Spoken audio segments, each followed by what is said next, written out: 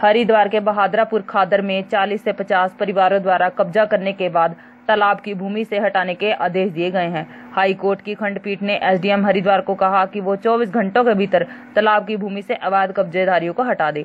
आज high court में पेश होने के बाद डीएम हरिद्वार दीपक रावत ने कहा कि सुबह से ही अतिक्रमण हटाया जा रहा है। शाम तक कार्रवाई पूरी कर ली जाएगी। आपको बता दें कि बहादुरपुर खादर में करीब 50 परिवारों ने तालाब की भूमि पर कब्जा किया है, जिसके चलते गाँव में बाढ़ की स्थिति बन रही है। गाँव में बन रही समस्या के बाद कमलेश शर्मा ने हाई कोर्ट में याचिका दाखिल कर अवैध कब्जेदारों को हटाने की मांग की थी। इस पर कोर्ट ने पूर्व में आदेश देते हुए तालाब की भूमि से अवैध अतिक्रमण हटाने के आदेश दिए थे। उधर कारबेट के आसपास लगे क्षेत्र में सरकारी भूमि और वन भूमि पर कब्जा कर व्यवसायी हित साध रहे होटल संचालकों को कोर्ट ने अपना अतिक्रमण हटाने के लिए दो सप्ताह का समय दिया है। कोर्ट ने सरकार से कहा कि दो हफ्तों में पूरी कार्यवाही की रिपोर्ट में पेश करे।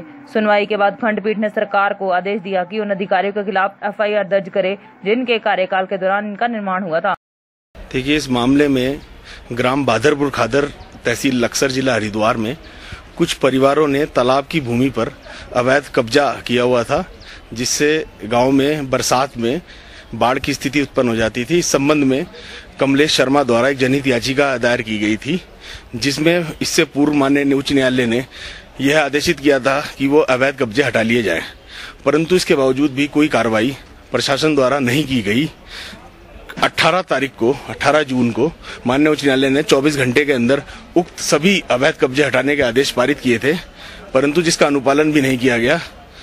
कल, आज इसमें डीएम हरिद्वार पर्सनली अपेयर हुए, जिन्होंने यह स्टेटमेंट दिया कि आज सुबह दस बारह परिवारों के कब्जे हटा लिए गए हैं, जिस पर मान्य उच्च न्यायालय ने आदेश पारित किया कि आने वाले 24 घंटे के अंदर उक्त सभी अवैध कब्जे हटा लिए जाए।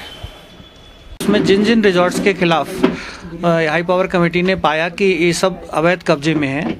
उसके, उसमें माननीय उच्च न्यायालय ने अधिवक्ता गणों को ऑप्शन दिया कि या तो आप खुद स्वतः खाली कर दें, अन्यथा जो है हमें आपके खिलाफ कार्रवाई करनी पड़ेगी। तो उनमें से कुछ रिजॉर्ट मालिकों ने कहा कि हम तो अपना कब्जा तुरंत हटा लेंगे। लेकिन कुछ रिजॉर्ट मालिकों ने इसका घोर विरोध किया और उन्होंने कहा कि हम मामले को कंटेस्ट करेंगे। इसके बाद माननीय उच्च न्यायालय ने इन सभी रिजॉर्ट मालिकों के खिलाफ आईपीसी फॉरेस्ट एक्ट और पीएमएलए एक्ट के अंतर्गत एफआईआर दर्ज करने का आदेश जारी किया और ये भी आदेश दिया है कि जो जो अधिकारी उस दौरान पोस्टेड रहे और उनके उनके दौरान कब्जा हुआ है सरकारी जमीनों पर, उनके खिलाफ भी एफआईआर दर्ज कराई जाए। आज कार्रवाई ये हुई कि रिपोर्ट सबमिट हुई। रिपोर्ट में हाई पावर कमेटी ने पाया कि अत्यधिक मात्रा में कब्जा किया गया है तो उस पर सुनवाई के लिए अगले अगले हफ़्ते सुनवाई होगी। दो हफ़्ते बाद के लिए केस लगाया गया। राज्य सरकार अपना कब्जा लेगी और कब्जा जो लोग नहीं हटाएँगे उनको बलपूर्वक हटा दिया जाएगा और क्रिमिनल और सिविल सभी कार्रवाई उनके खिलाफ होंगी। आज न्यूज़ के लिए नैनीताल से कांता पाल की रिपोर्ट। प्लीज़ हमारे चैनल को सब्सक्राइब करें और देखी गई वीडियो को लाइक और शेयर ज़रूर करें।